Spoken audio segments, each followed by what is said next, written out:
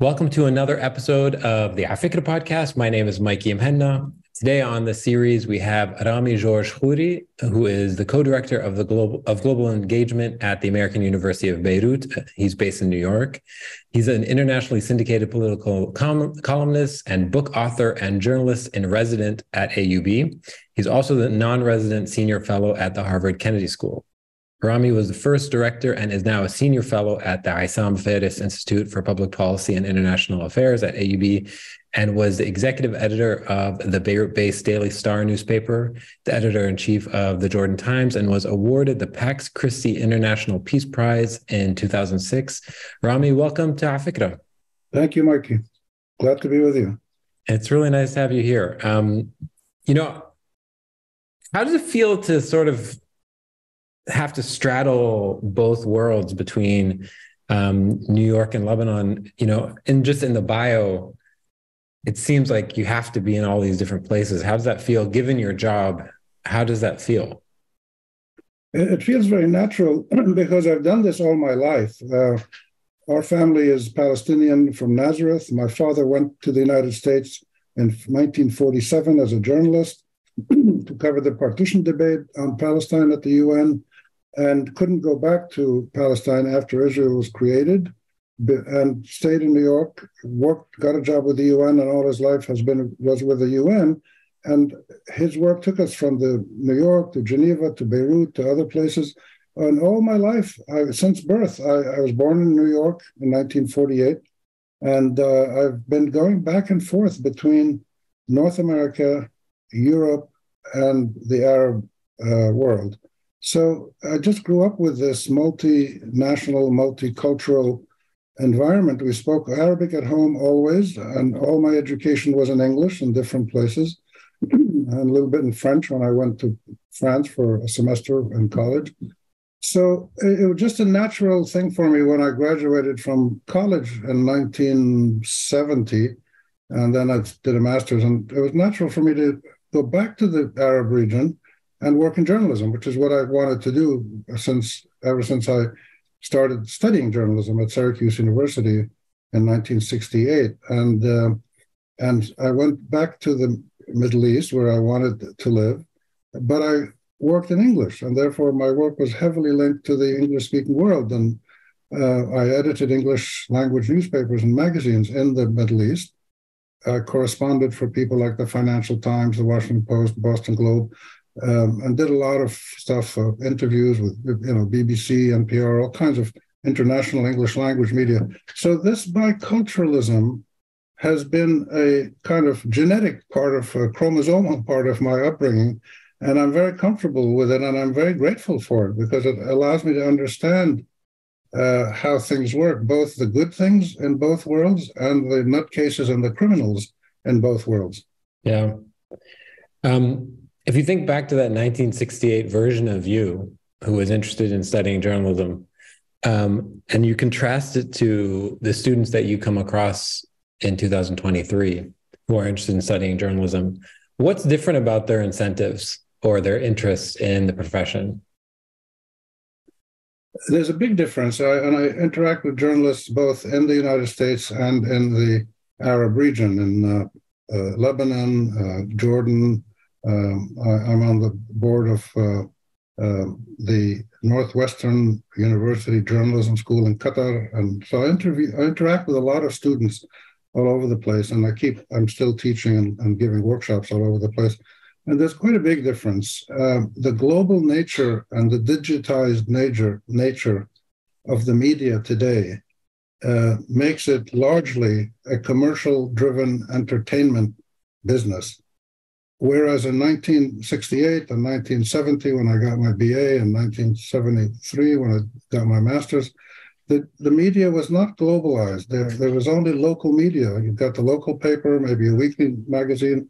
And then the only thing that was kind of globalized was the radio. So you could listen to the BBC wherever you were, or, uh, or, or some TV stations broadcasted internationally. But uh, today it's very different. Um, journalists are motivated by uh, more of a desire to make a social comment today, and broadly speaking, of course, uh, uh, they're interested in uh, being on the global media stage, which is social media, podcasting, radio, television, Netflix, all of these things. Um, and they're also interested in serious things. So, you know, Me Too, women's rights, Black Lives Matter, anti colonialism, uh, social justice. Uh, these are big issues uh, yeah. that drive young uh, students. In my teaching at AUB, when I teach uh, different courses, I teach opinion writing and I teach narrative long form journalism. Always, without exception, the two or three biggest topics that the students always want to write about when I give them an option. They want to write about sexuality in society. They want to write about sectarianism, with Lebanon particularly, but it's also spreading across the region. And they want to write about refugees, because uh, these are three things that dominate their lives. Uh, these things were, were, not big factors back in 1968. Uh, so people back then were focused much more on uh, local stories, um, uh, you know, feature stories, political stories, wherever they could find them. Uh, it's, so the media has evolved uh, in many ways, but the evolution of the media globally is pretty common. I find yeah. the polarized, commercialized, digitized, weaponized, uh, and ideologicalized nature of the media and the commercial nature of the media is pretty uh, dominant everywhere. We go to the Middle East, Europe, North America, parts of Africa, India. It's it's all it's it's all the same, uh, which is a problem. Uh, yeah. But at the same time, it's an opportunity, and people, you know, sometimes ask me, uh, "What do we do?" I say, "Well, just use the good things that we have." I'd rather live in today's world than in 1968. I mean, today I can sit here with my laptop and a phone and have access to the most amazing uh, knowledge at my fingertips. Uh, just this morning, I got an email from somebody I never heard of, some group in London, I think, and they they just launched the uh, the uh, well-being report of countries all over the world, and this is an analysis of different factors of wealth and well-being and uh, income and other things, and they take every country in the world. And so this is an amazing tool to have, and it just came on my phone while I was drinking my coffee.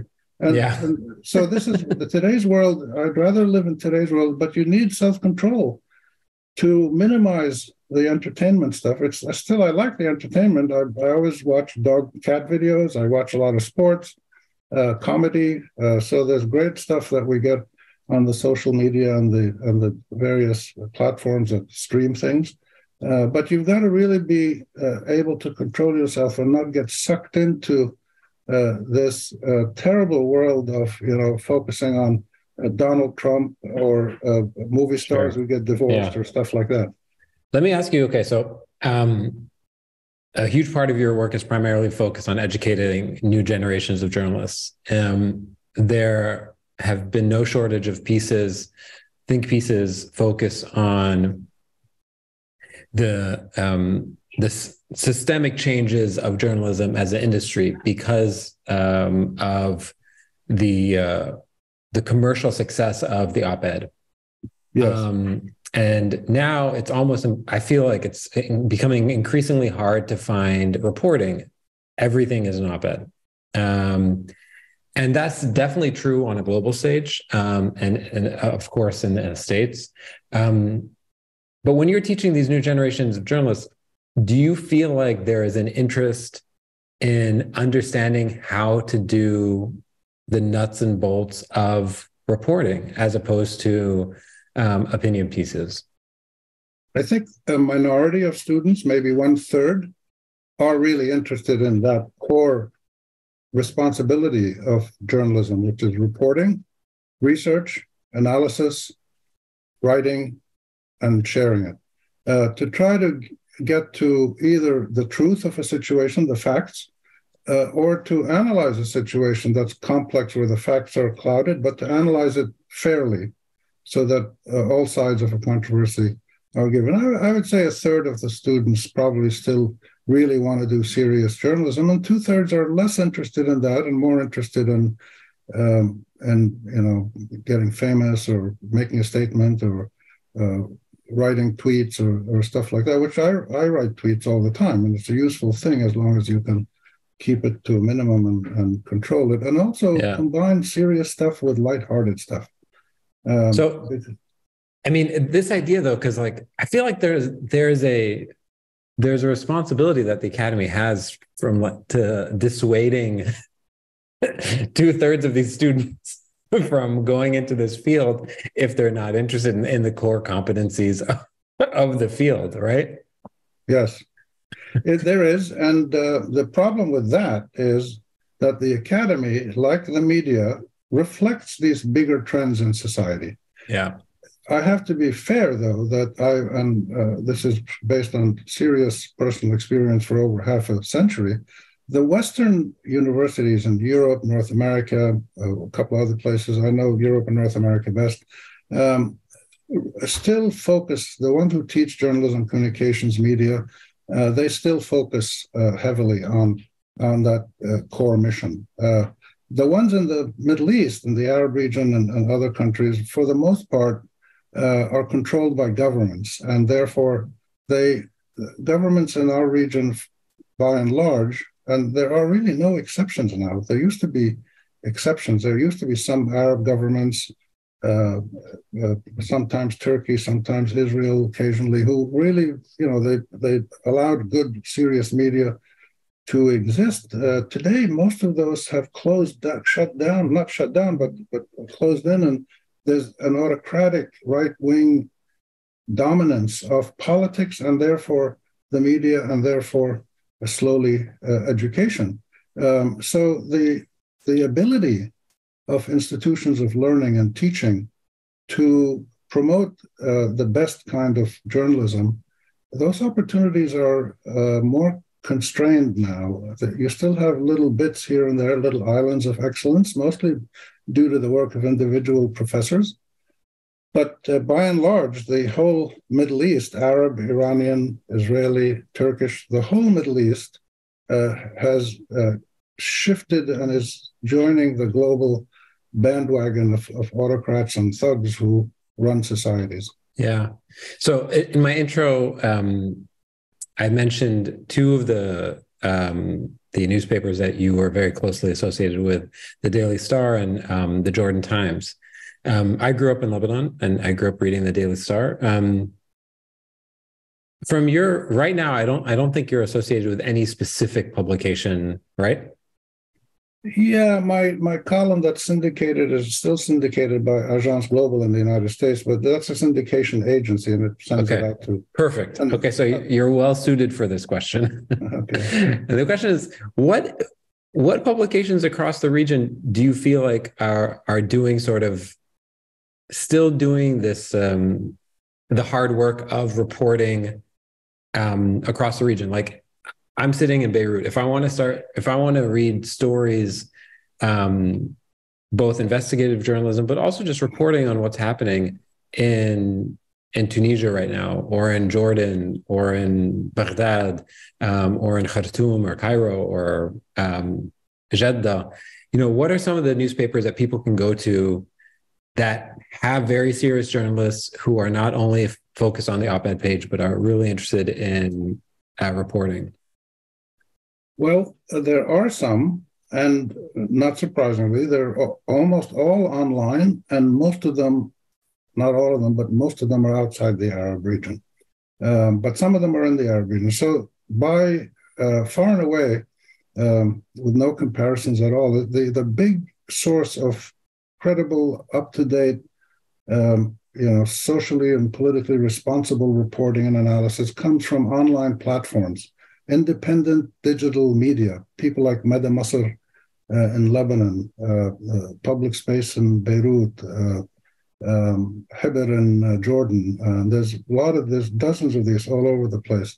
Um, and they are still, those are still, those three I mentioned are still operating from their own countries. Uh, um, Daraj also in Lebanon. There's many uh, institutions like this online, very courageous, very serious. Uh, by the way, mostly run by women, which is fascinating, but a sign of the times, uh, and uh, by local women. And um, shout out to Lina Lina Hibber. oh, absolutely! All you know, all of these groups uh, are uh, active. They're, they're, some of them struggle to survive for funding, but they do. Uh, and the governments occasionally try to shut them down, but they, they keep going. And then you've got people abroad um, in Europe mostly, and so you've got people like uh, um, uh, well, you've got the Jazeera um, online in Qatar, which is funded by the Qatari government, but it's pretty autonomous. Um, and you've got the, the New Arab in London, which is uh, also Qatari funded, but I think quite uh, quite good. I write for them now and then. Um, you've got a few others in, in London, and so the, but it's all digital online media. The traditional printed newspapers and magazines uh, really there's there isn't a single one that stands out as as uh, uh, really uh, serious uh, and and credible, uh, which is which is a shame. But it's a sign it's a sign of the times. Uh, if you look at the universities in the Arab world, you look at the some of the um, um, training institutes, government agencies. Most of them have deteriorated because they're controlled by governments and, and security agencies. Uh, the one sector that is still vibrant in the region, which has a link to, which also does op-eds and analyses, is the sector of research institutes, think tanks, uh, policy centers, and surprisingly, that sector has flourished. You know, the Issam Fares Institute, which I founded at AUB when AUB asked me to do that in 2006, is flourishing uh, now under Joe Bahout, the, director, uh, and and so are think tanks in many Arab countries where they're allowed to. They they're not allowed to work well in all countries, but um, in uh, in Qatar, uh, in some of them in North Africa, uh, and, and a couple of others here and there. But they do really, really serious analysis, research, and increasingly publishing. What's fascinating about the world of you mentioned op-eds and one of the reasons I write less now in terms of writing op-eds, I used to write two a week for about 40 years, um, is that uh, all the institutions of the public space in the in the world, the public sphere, uh, that are serious about current events are all doing op-eds. So you, you get, you know, TV, CNN, MSNBC, they, BBC, they all do analysis and op-eds.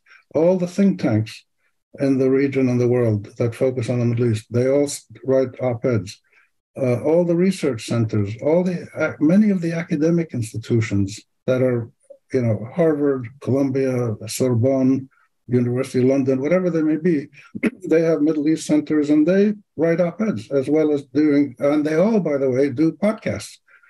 So there's been a convergence in the uh, global arena of knowledge, analysis, and opinion about the Arab region, uh, a convergence in the kinds of materials that are offered to the public, almost always for free, and a lot of these materials are really good. Not all of them, but a lot of them are really good. And they're all available for free. So if you want to start a new podcast today or you want to start a new column about the Middle East, you better be really, really good because you're competing with hundreds of other offerings every day uh, that are free and available at your fingertips. So that's an interesting uh, part of the, um, the of the scene of knowledge, uh, publishing, and uh, and opinion sharing. The social media, uh, the Twitter and the Facebook and all those, have uh, allowed this sphere to grow. Ironically, because you can reach a lot of people uh, by just putting it on your. If you have a lot of Twitter followers.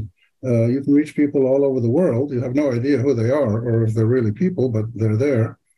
But it also opens the door to wild people and, and intellectual skinheads and nutcases attacking each other and calling each other names. Uh, so you've got to, this is a package, this is human nature. So the media is a reflection yeah. of two things. It's a reflection of human nature, all of us as humans, but it's also a reflection of the political cultures we live in. and the political cultures we live in um, have uh, almost everywhere in the Middle East have become more autocratic and more authoritarian, less tolerant, less pluralistic.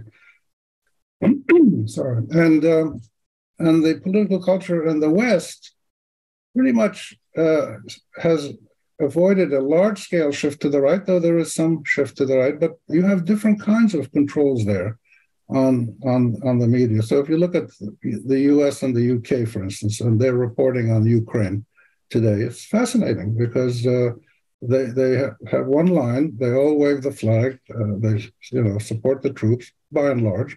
And it's very hard to deviate from that. Uh, uh if you look at reporting on Israel, uh, and Palestine, it's still heavily pro Israeli, though there are changes slowly taking place.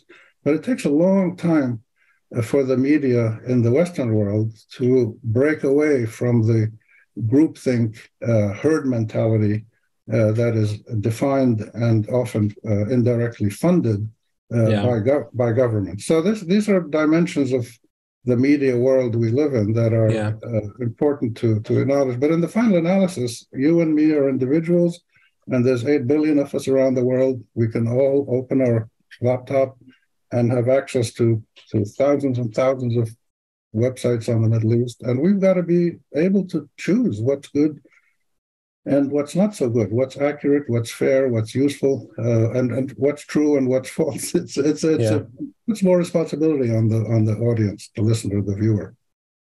I want to go back to this um, to the the your time at the Daily Star because I, I, was really fascinated by that in preparation for this um, this podcast. Um, how long how long were you at the Daily Star? I started my first job at the Daily Star right after I graduated from from college in uh, 19. Well, I graduated in 1970, but I stayed to study a little more and work. And about 72, I went to Beirut, and I uh, got a job at the Daily Star uh, as a reporter. Uh, and I was lucky to have some tremendous editors, Jihad Khazen, uh, Rafael Kalis, uh, a couple of other people who were terrific editors and great mentors, and they helped helped me a lot. Um, so I started in 1972 in Beirut as a reporter. My first story, you know, I came out of college, you know, hotshot college graduate, Syracuse University, Newhouse School, one of the best in the world still. And here I was reporting for duty, and I wanted to write a story about how to save the Arab world. And the first assignment that Jihad Khazen gave me said, Could I write a story about the cockroach problem in, in Beirut? And I said, Yes, sir. so, so I wrote the, the most densely researched story about cockroaches you'll ever read because uh, I wanted. Was it a, was it about the politicians or was it about the actual insects? No, back then it was the insects. Today it would cover a wide, including some bankers and other things. yeah. Uh, but the um, my career started uh, at college. I started doing things in college, but serious uh, work really started in 1972 in Beirut. So, when you think about back at that time, um, and now with some sort of uh, some perspective and some distance, what does it take to run a very successful institution like that? And what sort of impact do you think um, a, a newspaper like the Daily Star has on society more broadly? Because at the time, it was the, you know the, the leading English newspaper, English language newspaper in, in Lebanon, local, local. Uh, um, so I'm, I'm curious about some of the, the unexpected challenges that I would find surprising, and what it actually takes to to run an institution like that extremely well. Well, um, I, I, didn't run it back then. I was a yeah, reporter, but, but I did yeah. get. They called me back to be editor in 2002, mm-hmm. and I went uh, gladly because uh, I, you know my wife and I both had lived in Beirut. We loved it, and and I uh, you know I couldn't pass up the chance to run the Daily Star, which was then in 19 in 2002 being published with the Herald Tribune all over the Middle East. It was a great opportunity. Um, but what it takes to run any kind of publication in the Arab region uh, today, and, and back then as well, though it's more uh, stark today, is you've got to be aware of the real uh, dangerous pressures that could come down on your head if you cross certain lines. You've got to know what's allowed, what's not allowed. Uh, and what that means is what does the uh, ruling authority in each country, and sometimes it's another country like in, in Lebanon today, you know, or back then and, and some years ago, you had to worry about what did the Syrians think, or what did the Iranians think, or what did the Saudis think. So when, when I started with the Daily Star back in '72, uh, it was the Saudis who uh, were the big uh, funder of money of the media, and we had to. There was a big market for for you know sales and some advertising, and so we had to. You know, I didn't have to do it much, but the editors had to keep their eye on what are the Saudis uh, concerned about. So you've got to be always aware of where are the uh, are the red lines, and this raises a really central point, which is if you want to work in the media in the Arab region or any country in the South, virtually, with some exceptions only uh, you've got to be prepared to make some um, sacrifices. And I was conscious of that. And I, I made that decision very early on to work within these systems, even though there were constraints, which I wouldn't have if I was in, in Paris or, or in San Francisco, or there'd be different constraints. uh, but um, you you gotta that's the major thing that you gotta be worried about. The, secondary one is that there are other forces than the government than the authoritarian government system that you have to be careful of. When we when I started in the early 70s, you know, religious institutions and social institutions like tribalism and, and things of that nature and religious groups were were very powerful in Lebanon. They still are to, to a large extent, and also in other countries. So you have to be careful not to offend some of these uh, groups that are not governments.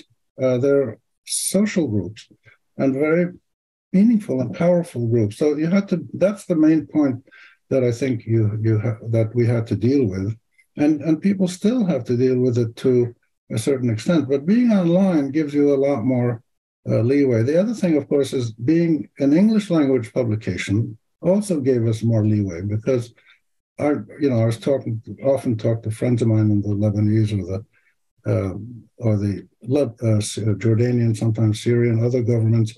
Um, and they would often say, look, it's in English, you know, it's okay, you can publish this. We wouldn't publish it in Arabic. So they, you know, and in fact, a lot of the governments would sometimes want to use the English language us to say, well, okay, let, let them print this because the foreigners, the diplomats, the journalists will read this in English and feel that we have, you know, some freedom of expression and uh, stuff like that, which of course didn't fool the diplomats because none of the stuff that we printed would be printed in Arabic. But it, it's a constant, uh, um, there's a constant tension. Now, I, I went into this, I was very uh, unusually fortunate to become an editor in chief of the Daily Star, uh, uh sorry, of the Jordan Times in 1975. I, I left Beirut when the Civil War started. Um, having developed a great career as a, as a reporter of cockroaches and other things, and was doing really well writing for the Financial Times and Washington Post as a stringer and other things. And then I went to Jordan for a visit. Uh, uh, the, the, Civil War started in Lebanon. I, I, I, couldn't stay there; it was too dangerous. I wasn't married, so I went to Jordan, where my parents had just retired. And, and by chance, my father was involved with some friends who started the Daily, the Jordan Times and they were having a hell of a time uh, running it. They, they had people running it who weren't that capable. And so when they learned from my father that I was there, they said, Oh, your son knows English journalism. We're going to see him. So they asked me would I come and run the Jordan Times. And I was 27 years old. And of course, who would not want to be a newspaper editor at the age of 27 if you love journalism and you love the Arab region? So I got to be editor very early. And Jordan is typical. It's a you know top heavy um, uh, country and political system uh, with a lot of influence from the security and tribal forces and other forces. So you had a lot of constraints, but you, but I also sensed that I had to make a decision, which I did, which was I want to work within this system and see if there's a way I can push from within, but more importantly, see if I can help train young journalists. This was back in 75, 76, 77. I can help train young journalists on just how to write a good news story, how to crop a photograph, whatever, how to do an interview, uh, not write political pieces that challenge the whole world. Uh, just do the nuts and bolts. Uh, and, and I did that with a conscious uh, awareness that there are some issues that we, we really couldn't write about. And I said, that's okay, I can live with that because the advantages of running the, the paper were, were meaningful. uh, to me, and and and people who the readers appreciated uh, uh, what we were doing, and then of course many other little things came along as we were doing our work. We, for instance, we had a story, a couple of we had a little. I, had a reporter do a few features on on the pollution of water that was creating some problems for vegetable growers and exporters. And, and one day the information ministry called me and said, Rami, can you come in? We got to talk about something. And they said, look, this story you're publishing about vegetables that are uh, uh, uh, grown with polluted water, maybe they're dangerous. We have to check it out. He said, this is causing problems for us exporting to, Saudi Arabia, which is a big export market for Jordan, fruits and vegetables. And they said, look, could you, could you could you kind of tone this down a little bit? Uh, and this things like that happened all the time. And I would always push back a little bit, and I'd say, "Look, but this is true." Who exactly was spe- who exactly was speaking to you? People in the information ministry. It like literally, like middle management. Hey, this more, is more senior, upper senior, um, more than middle, but not the very, very top. Sometimes the minister uh, himself. Once in a while, it would be somebody in the royal court. Uh, now, the irony of this is these were all people who were friends, people that I'd known as friends who were friends of my family. They knew me, they trusted me, they knew I wasn't doing subversive stuff intentionally. If, you know, because people who were doing subversive stuff, like communists or Baathists or whatever, they'd put them in jail. But for me, they, they knew that I wasn't, uh, I had no bad intentions. But they also felt that, you know, they, they had to do something. And I always kind of tried to push back as, as, as much as I could. Um, and say, look, but this is true, and it's also hurting Jordanian citizens. We, you know, this is not good for us. Forget about yeah. exporting tomatoes. And and I would say about one third of the time, I would get my way. They say, okay, go ahead, publish it, but you know, take it easy on us. okay, so interesting. So Rami, I want to ask you about that. So my instinct, my initial knee jerk reaction is to say, this is absurd. Um, that you know these people who work in these ministries and the courts think that you're on their payroll and they think that they get to decide what you publish. Um, but maybe I'm being naive. Maybe that's the case everywhere. Um, to what extent is that an extraordinary, extraordinarily absurd story? And to what extent is like that's the nature of media, even in places where we think that there is independent media? You know, it's not only the media, it's the nature of the power structure. So if you look at universities, you look at independent research centers, think tanks, uh, if you look at uh, any other institution, civil society groups that do research on human rights or anything, the government will have the same attitude. It will try to control the generation and dissemination of knowledge that the government thinks makes the country look bad. I mean, that's at its simplest uh, way, uh, explanation. Um, and um, and of course, none of this stuff really hurts the country. In fact, it helps the country when you uh, pu- publish stories about you know polluted water or people stealing money or something, or or you know people being licensed to do things illegally because they're friends of somebody. That that's a good thing for the country to expose. But people in power don't think like that. They just think of of, uh, of power. Um, and you see it, you know, happening today. You look at Egypt, the great case today, where the country is in real stress, uh, and they and they've cracked down heavily uh, on the media and continue to do so. Some countries in the Gulf, uh, similarly, um, are cracking down on the media, not all of them. And uh, this is a function of uh, autocratic governance. Yeah. Um, and it, it just it's universal. It's also timeless. It's been there for you know many many uh, centuries. It's nothing uh, nothing new. But you know, the Arab region is kind of unusual, mm, somewhat, in that the the region became a bunch of independent states, 22 of them at the last count, but even that's not clear because some of them split up, some of them are. We don't know how many Arab states there really are, but in theory, there are 22 in the Arab League. And these are new countries, and most of them were created after World War One uh, by British and colonial um, drunken officers after dinner drawing maps on uh, napkins and saying, This is your country, this is your country, and picking a local elite to run it. Um, and, and that's how these countries developed. And uh, some of them developed with local dynamism, like in, in Saudi Arabia, uh, the Al Saud took over. Um, each country is selected, but their own modern uh, creations And not a single one of these Arab countries, with the sole exception of Tunisia a few years ago, but that's now being shattered, not a single Arab country was validated by its citizens, either at its birth or in the policies that continue for decades and, uh, and, decades. And this is still the norm, which is unbelievable. We're the only comprehensively, chronically non democratic entire region in the whole world. There's no other region like us. It used to be like East Europe under the Soviets was like that, but no, not anymore. Only the Arab region is chronically, totally non democratic. And people have struggled and continue to struggle to change this, and it's, it's really hard. Um, but you know, everybody has to make a decision how you do this. My decision was to try to do it from within. By the way, I was good friends with Jamal Khashoggi, and Jamal and I talked often, and uh, he had a similar approach. He worked within the Saudi media in, in the Gulf, and he felt the same thing that you know it's better to work in the system. He was editing a newspaper, then he tried to start a TV station, and, and then he, he joined the government. So he, felt that it's better to try to work within the system to try to uh, push things as much as you can. And many other people uh, like us have done the same thing. Of course, he paid for it with, with his life. Um, and uh, this is a common uh, challenge across the entire Arab region today, with no exceptions. There used to be exceptions, by the way, uh, uh, recently, until about six, eight, ten years ago. There were a few countries where you had more pluralism, more freedom of expression, a little bit more space to, to do things. Jordan was one, Morocco was one, Kuwait a little bit, Lebanon a lot, Palestine a lot, had more space than other countries. But all of those have now started to, sh- to shut down that uh, yeah. space. There, there's more restrictions now in, in all of these countries.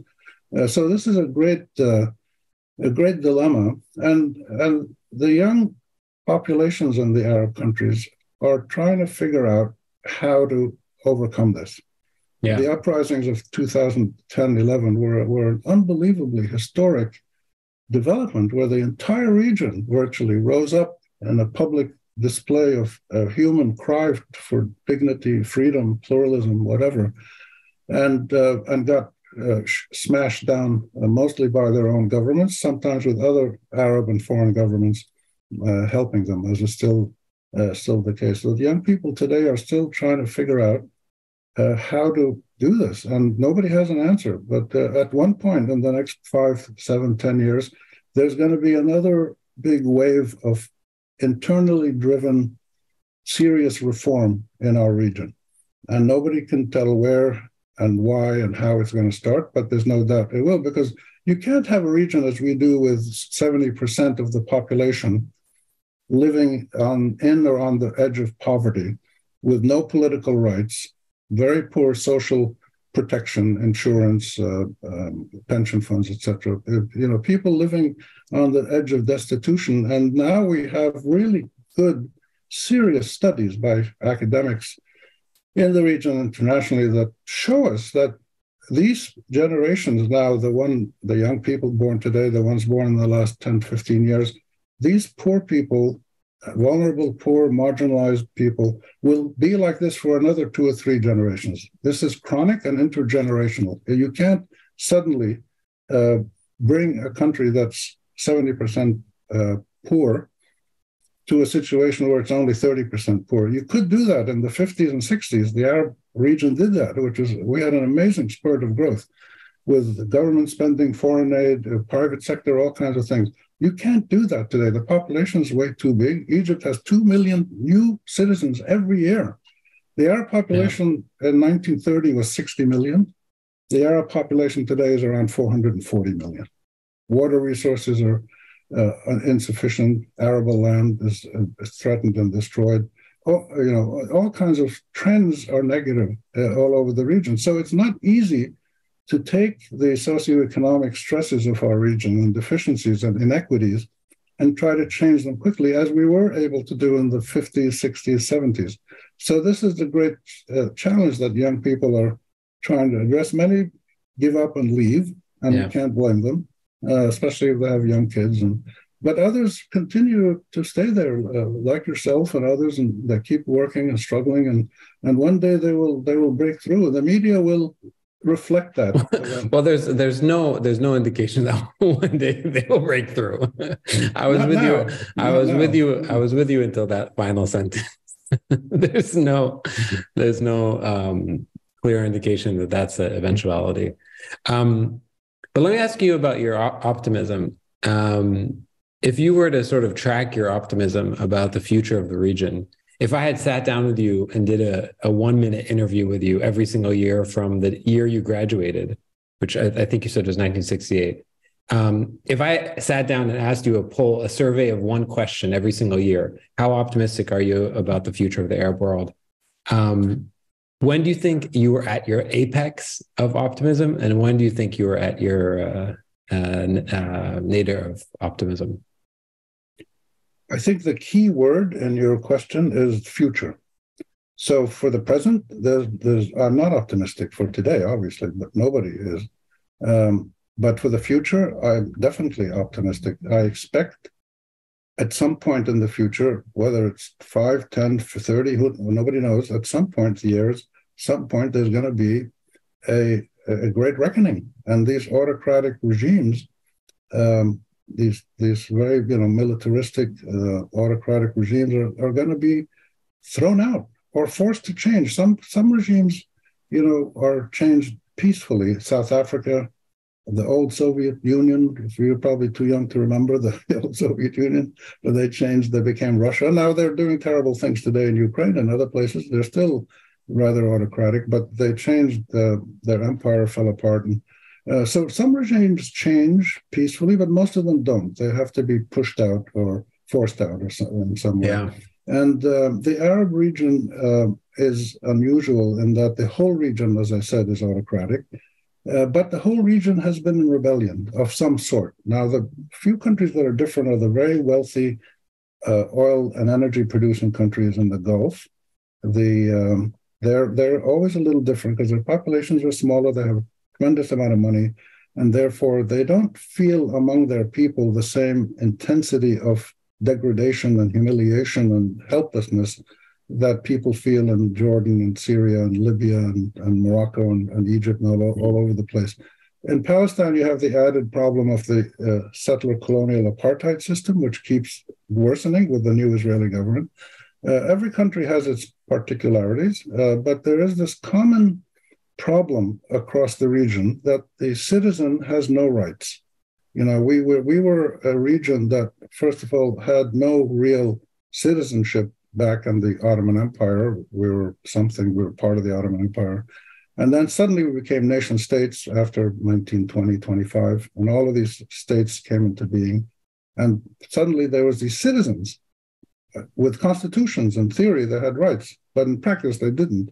And in the last 30, 40 years, really since the Reagan Thatcher years of around 1980, when globalization, commercialization, uh, um, um, digitization, all of these things, free market economies dominated the whole world, the, our citizens were transformed actually into consumers. So we now have consumers, and every Arab country, if you look at the newspaper, I, when I travel to Arab countries, I always look at the local Arabic language newspapers, just look at the advertisements. It's extraordinary the amount of stuff being sold to people at very reasonable prices. And if you don't have enough money, they'll give you a loan. Cars and houses and and uh, you know uh, uh, vacuum cleaners and anything you want, and, and as many kinds of fried chicken as you want. Uh, so the the reality of this region is that there are 440 million citizens in theory who are actually only consumers and they're voiceless. They can't really express themselves except anonymously on social media, and they're powerless. They don't have the power to change their systems through voting or legal systems or other peaceful uh, means. Um, and the, so there's pressure constantly building. Of course, it exploded in the wave of 210, 211 uprisings. Some of those continued in Lebanon, Algeria, Sudan, Iraq, and, and some of them are still going on quietly, but no breakthroughs. So yeah. at some point, um, um, something will happen. The reason I have long term optimism is because I've spent the last 52 years, about since 1970, um, constantly reporting across the Arab region. I've traveled a lot in the in the Arab region. I've been to most, but not all Arab countries, and I've also met Arabs at conferences and all kinds of things. So every, my optimism is anchored in a recognition of the extraordinary humanity, dignity, uh, and and and law-abiding uh, nature of of the average Arab citizen. Uh, and this comes from a tradition of, of many things that you know you looked at in history and sociology yeah. and culture and, and, things. But that's what makes me feel uh, optimistic. When you look at younger people today at universities, as I do, but also in civil society, there's an unbelievable dynamism, creativity, determination, uh, ingenuity. They're doing crazy stuff, which is really positive, good stuff, uh, using technology, using uh, trying to network across regions. So that power, that human power to do well and to build decent societies is there. It exists inside the individual and the collective humanity of the Arab region. How to get it out and help it shape the public realm and policies and things of that nature uh, is the big challenge uh, that we still face. It's not going to happen quickly, uh, and it, uh, people die all the time from you know demonstrating and uh, challenging their systems. but human nature, I think, in the end, has to has to triumph. The, the existing systems are not sustainable. You don't have enough foreign aid to come in and keep these systems, uh, keep the, the lid on using security uh, measures. Uh, the, the, the term I use to describe the Arab region today um, is a, a, a, citizenship, a citizens in rebellion against a, a militarized state. The, the states are increasingly using military and, and related tactics like taking people to court and imprisoning them. The, the, the militarized state is trying to keep the lid on uh, the protests of the citizens and demands for change. And the citizens are find, trying to find new ways to protest and bring, bring about change. That system cannot go on forever because there simply is not enough money in these countries to feed all the government uh, employees and, and security services and let citizens have a decent uh, life and generate jobs, good education, healthcare, all these things that we were doing in the 40s, 50s, 60s, even until the late 70s. The development of the Arab world was really quite impressive. In yeah. many cases, moving faster than places like East Asia, which were held up as the jewel of of, of global development. We're yeah. educating women at a faster pace in the Arab well, world than, yeah. than they were in East Asia in some periods. So that's yeah. why I'm optimistic. Uh, okay. Um, okay. Thanks for that. I appreciate the dose of optimism. Um, I'm going to ask you one final question before we move on to the quick Q and A, which is, um, and I'm going to put you on the spot with this. Obviously, um, I will say that um, you get a pass for if you lose any, if you miss, uh, if you don't think of any uh, of these books off the top of your head. But I'm going to put you on the spot. What are sort of five, six books that every single, you know, journalist, um, master student, or public policy uh, student who's interested in the Arab world should absolutely have on their bookshelf? If you're interested in the Arab region, specifically if you're interested in the Arab region, if you want to participate in um, these, you know, work at one of these think tanks or work in media, um, work as a journalist, what are required reading as far as you're concerned? Oh, I would certainly say The Arab Awakening by George Antonius, which was written back in, I think, the 40s, um, 50s, I can't remember which year he wrote it, about the Nahda, the Arab Awakening. Mm-hmm. Um, I think you have to read um, uh, books about colonialism and, and, anti-colonialism, and there's many, uh, many that have been written. Uh, I'd have to think specifically uh, of one or two, but uh, the whole colonial enterprise. Um, there's one book that was written a few years ago that I read, whose whose name I, I can't exactly remember, uh, it was something like How the West Stole Democracy from the Arabs. It's written by a professor in the United States, a history professor, about how the, the British and the French colluded to prevent uh, Prince Faisal in 1920 from creating a constitution in Syria that gave citizens their rights and, and had the monarchy in a kind of informal state uh, to try to create a, a democratic system. That's uh, Elizabeth F. Thompson. Yeah, that's it. Yeah, uh, how to how that's an incredible book. It's so important to read because both for the impulse from within the Arab region for democratic reforms while respecting certain uh, historical realities like tribalism, religion, uh, monarchy, etc., and the fierce determination of the West. Uh, uh third one I would say is uh, Ilan Pappé's The Ethnic Cleansing of Palestine, which was about Palestine. But Zionism and, and the Israeli reality, which today we see becoming more and more gruesome, um, really are a central part of this story.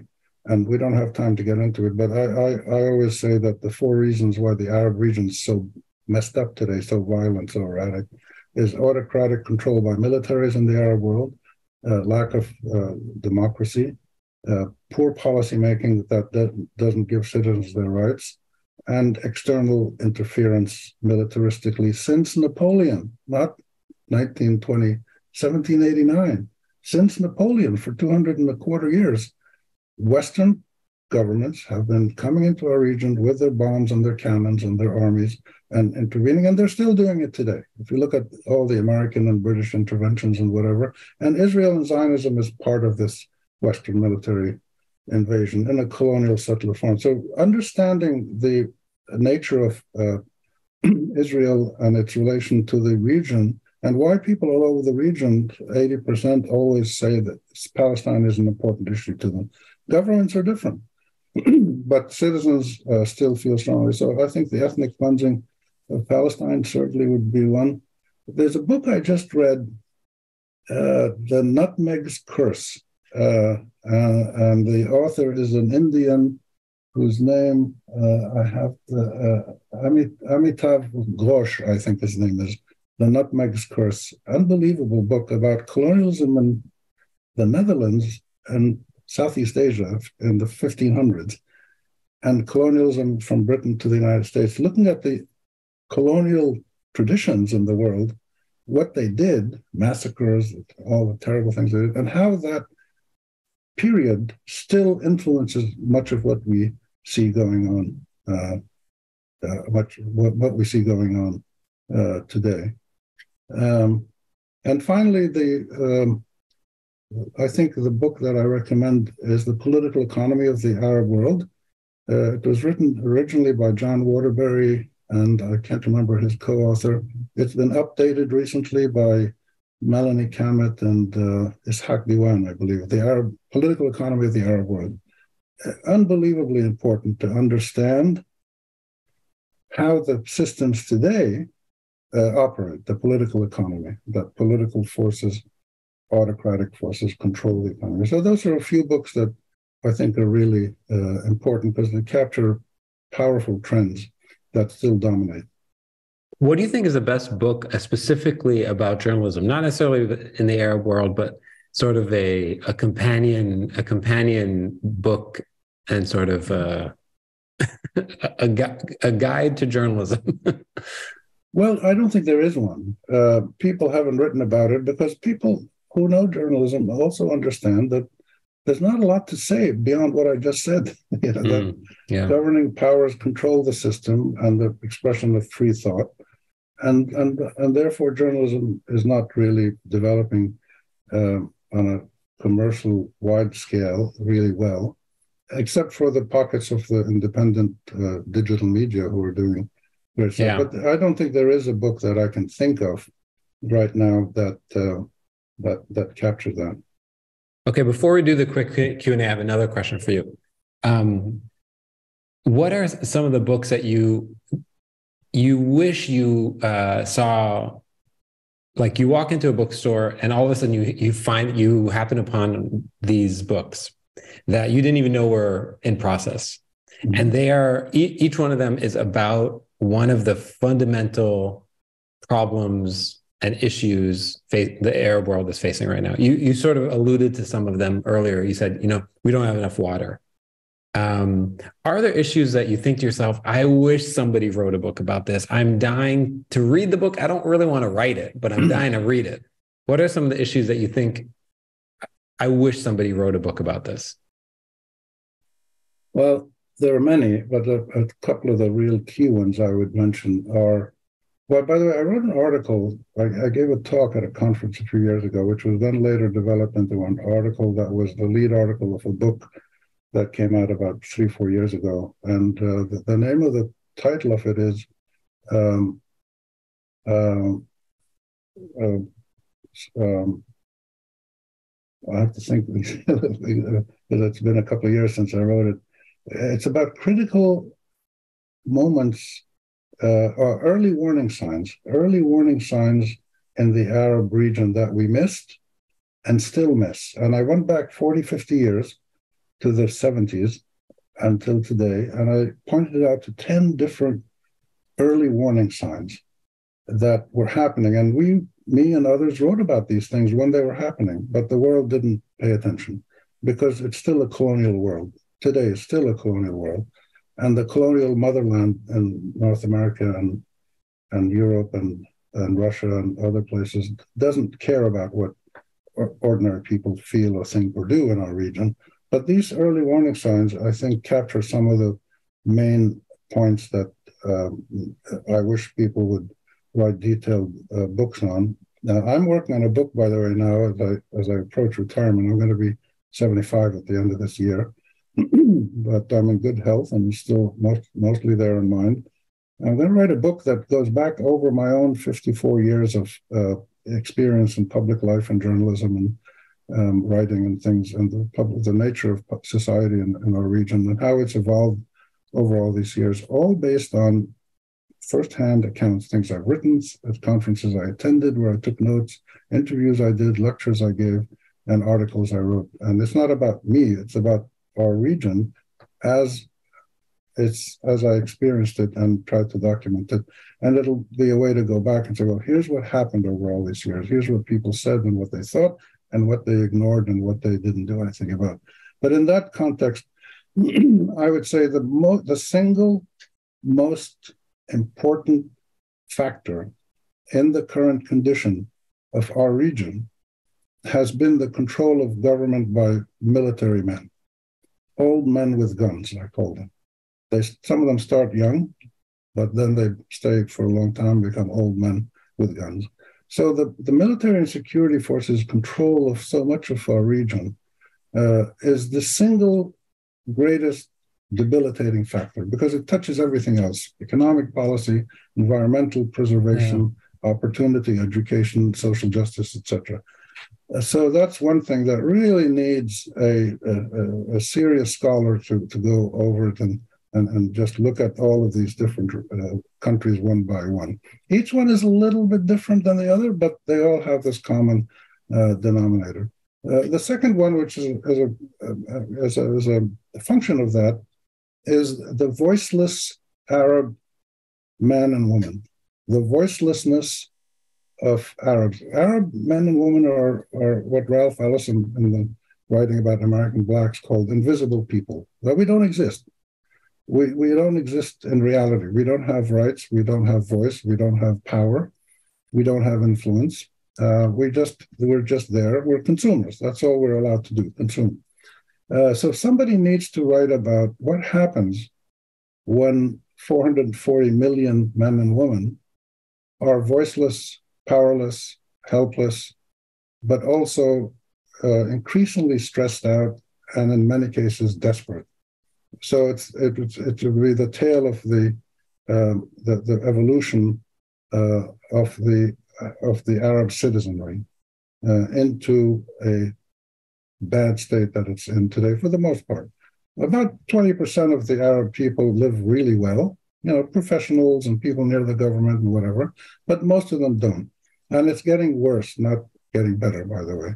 Uh, the inequalities are increasing. And so those are two factors that I would mention. The third one is the incredibly um, clear now environmental deterioration in our region. Um, people started writing about this back in the 70s and 80s, when the oil boom started and development picked up really fast pace.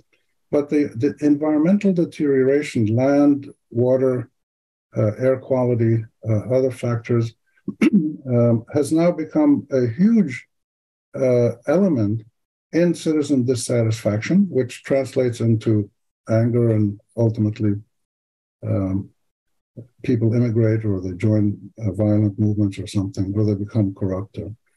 So the, the, the, environmental nature of our problems, I think, is really a big issue. And it's going to become more and more important as climate change has more and more uh, impact. Um, yeah. Uh, so those are three uh, big ones. You want more? That no, that's great. That's fantastic. um, okay, let's do the quick Q and A. Then we're going to wrap up. So these are rapid fire questions. The first one is, what are you reading or watching these days? I'm reading about two things. Um, so reading and watching other, but what I'm reading, I, I, don't. I watch mostly sports and comedies on TV. Uh, Great choices. most of the other stuff is it's just entertainment. I watch a little bit of news here and there, but but most of my news I get from good online, you know, quality. Whether some of them are traditional, like the New York Times, sometimes not always, and people like that, um, or the Arab social media. But reading I'm reading about two things that really define my life and what I'm doing more and more. I read a lot about colonialism and resistance because it's clear that the colonial legacy from the starting from the Ottoman period to the European colonials today to the other colonial powers, the United States, the Russians, the Iranians, the Turks, uh, the Israelis. Um, so colonial powers evolve in our region, but uh, the colonial system is still in, in uh, play. So I read a lot about uh, how colonialism um, works and how people resist it. I'm particularly interested in the links between the American civil rights movement uh, by blacks and other people of color, but mostly black Americans, and Palestinian resistance. And this is something that we're, we're looking to do some links between them. Interesting. So that's yeah. one area: colonialism and anti-colonialism. Um, and the and of course, if you want to, if you want a lesson in colonialism, just look at what's going on in Israel. Israel is the last active colonial enterprise, settler colonial enterprise from the 19th century. There's no other movement that started in the 19th century and continues in the 21st, except for Zionism, where they keep taking Palestinian land and other Arab land. They took Syria, they took little bits of Lebanon. And uh, so the colonial enterprise is a living one in the case of Zionism and Israel, which is an incredible uh, reality that more and more people are waking up to uh, around the world. The other thing that I'm reading a lot about is is writing. Um, after all these uh, half a uh, this half a century of journalism, I've decided that what I what I like to do, and I think what I do best is is as I write things, and what writing is is essentially choosing words and putting them in a row.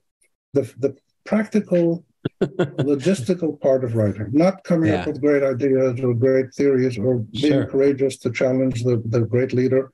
No, it's how do you put words in a sentence that succeed and success is that the reader reads it and goes on to the next sentence and then the next one. So I'm doing more workshops teaching people how to write effectively, all kinds of writing, whether you do tweets or dissertations or whatever, love letters or death threats, whatever you write.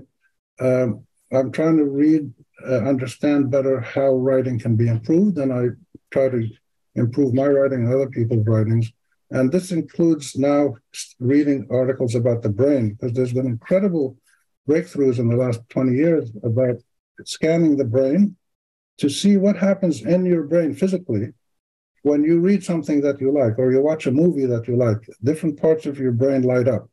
And we know a lot more about this now than we did before. So I'm trying to bring that knowledge to the writers who I teach and train. Say, look, if you want to succeed in your headline or your caption or your first lead sentence, here's what you got to do because you got to connect to this part of the brain, which generates curiosity, empathy, and a willingness to keep reading. And, and so we know now physiologically uh, and in terms of you know hormones and, and chemicals in the brain, we know what kind of words to put together to stimulate the reaction that we want from readers. And this is incredibly uh, fascinating and, and, and loads of fun. So those are, I read a lot about those two uh, those two uh, things. Okay. All right. We're gonna um, do the next couple ones. We only have a few minutes. Okay. So who would you love to shadow for a day, past or present? Wow. Um, past or present? Could be a uh, sports figure. Feel free. Yeah. That's hard. Uh, you you snuck up on me with that question. There's so many people that I would uh, have and do admire. uh, I, I, think obviously Nelson Mandela would be one uh, because he demonstrates this humility as an incredible reaction to, as a, a form of resistance to brutality. And this is, I think, so important. And I feel it in my interaction with Israel and Israelis that, that you need to be calm and not overreact. Make clear what your views are, stick to your views, and keep presenting them and pointing out why your adversary is uh, is, is a criminal and why that criminality can't continue. So Mandela probably would be the one most dramatic uh, okay. person that I would, uh, cool. would like to shadow for a day. What do people most misunderstand about your work? those who criticize me, and there's been a lot of them over the years, misunderstand that I'm trying to look at the Arab region within the Arab region in its relations with foreign powers, mostly Western powers, but now increasingly, you know, Russia, Turkey, Israel, UAE, uh, you know, other Arab powers now that are trying to act like colonial powers. They misunderstand that I try to analyze these Arab relations uh, within the region and externally in a manner that tries to give everybody, let everybody enjoy their rights equally. So Israelis, Palestinians, Arabs, foreigners, whatever. Um, people misunderstand often what I write as, you know, just I'm attacking them, um, and they uh, they criticize me for different things. And I, I, you know, I get a kick out of this when people send a tweet that says, you know, I'm a, an anti-Semitic uh, uh, nutcase or something. I just give them a heart sign, as you know, I love you. Keep going. Or once in a while, I'll write, "Nice try, no cigar." You know, just you know, flippantly saying, you know, you're way off the mark. I'm not going to argue with you. And people then yeah. try to create an argument because this is the this is the, the tactics of these sure. uh, openers. They try to get you to divert into this and that. Uh, but humility, I think, is an important part of this. And what people misunderstand is I'm just trying to understand as a journalist how can we improve these societies in our region um, on the basis of social justice and equal rights under law for everybody, including Israelis, Iranians, Saudis, yeah. everybody. So I'm still at it, and I hope my book, when I do it in the next year or two, will will yeah. will make this clear. All right, last question. I'm gonna I'm gonna since you mentioned uh, sports, I'm very curious. What athlete do you admire the most or are inspired by? Um, that's another uh, tough one. I think it would have to go back to uh, Mickey Mantle of the New York Yankees from the late 50s and early 60s. Uh, and, you know, he had like most athletes back then, uh, baseball players, you know, half of them were drunkards and they'd go out all night and and, uh, and go to you know parties with all kinds of women who were not their wives and and do uh, crazy things and get drunk and come to the game next day hungover.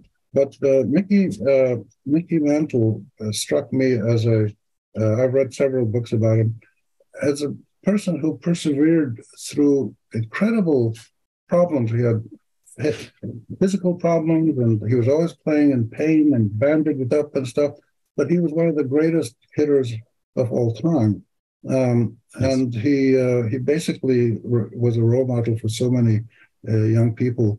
Uh, uh, but so I think he's a lesson in, in great talent that faced adversity, reacted with a combination of, of human greatness and human frailty at the same time. In mm. other words, none of us are perfect. We're all, you know, flawed human beings, Uh, and uh, uh, but I still admire um, Mickey Mantle. The other one would be, would be uh, uh, um, um, the, the, young players who broke the color ban in um, in baseball um, in the, in the 1950s. Jack, Jackie Robinson.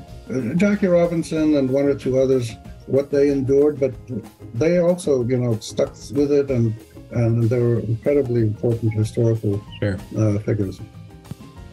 Um, Rami, thanks so much for joining us. I really appreciate it. Uh, and, you know, thanks for letting me sneak up on you with all those questions. Uh, it's my pleasure. Thanks for the good work you do. Thank you.